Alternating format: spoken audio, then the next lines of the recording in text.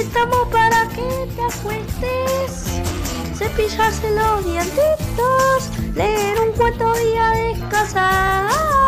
Vamos a dormir con Olitube, Olitube.